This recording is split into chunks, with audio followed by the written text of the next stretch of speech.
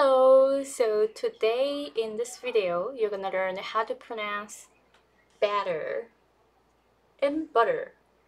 So these are actually pretty different in American English, but for a lot of English learners, for example, for Japanese, we pronounce them in the same way, which is bata, right? So today you're gonna learn how to pronounce this one and this one differently. Okay, so this one, B A T T E R, this is like tempura batter, like the stuff that you put uh, around the tempura when you make it. That's called batter.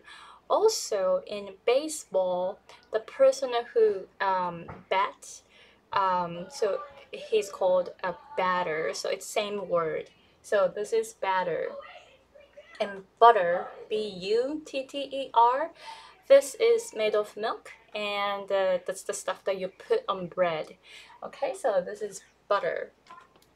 So let's look at the vowels because the vowels are actually really different. So for this one, batter, the vowel is this one. The symbol is this one. It's between the ah and the e, looks like it, and it actually sounds kind of like between the ah and the e. So how to do it is you want to make your mouth kind of triangle shape, and then move your lips sideways and move it like open your mouth. So you make triangle shape and make sure that your tongue is flat. And this is called a flat A. That's because your tongue becomes flat so that you can see your tongue. Eh. Eh. Eh. Okay how is it? And for this one B-U-T-T-E-R so the vowel is called schwa, which is really important in American English because you're gonna see this vowel everywhere. It's most used vowel. And uh, the pronunciation symbol, you there are actually two, and this one is like upside down V. That's when you have a stress on the syllable. So for this one, butter, this one is used for right here, this syllable. And if you don't have a stress on the syllable, and this one is used. So both are called schwa, and it sounds like uh, uh. Okay, so this is actually really different from uh, Japanese ah. Okay, so Japanese ah is ah, ah. Okay, and the American schwa is uh, uh.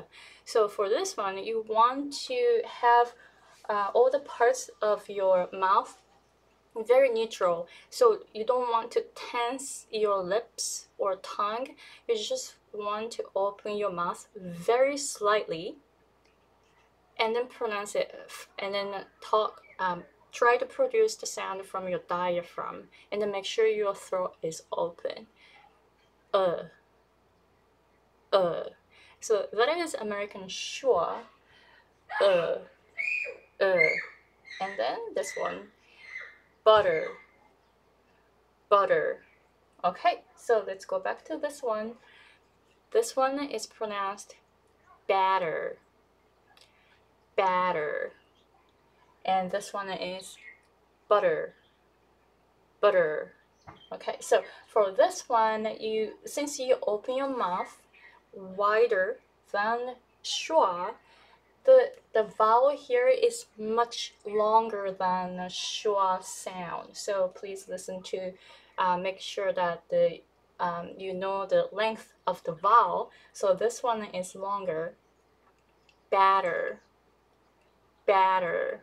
And this one is shorter. Butter, butter. Okay, so how is it? Please let me know how it goes. And if you have any questions about pronunciation, please let me know. You can comment below and make sure to subscribe if you have the if you haven't done so. And a lot of videos are coming up and I'm writing newsletter every week. And if you sign up for my newsletter, this month you're gonna receive um, newsletters about the differences between Japanese and English pronunciation wise. So make sure to sign up for my newsletter and subscribe my channel. Thank you very much for watching and I'll see you guys later. Bye!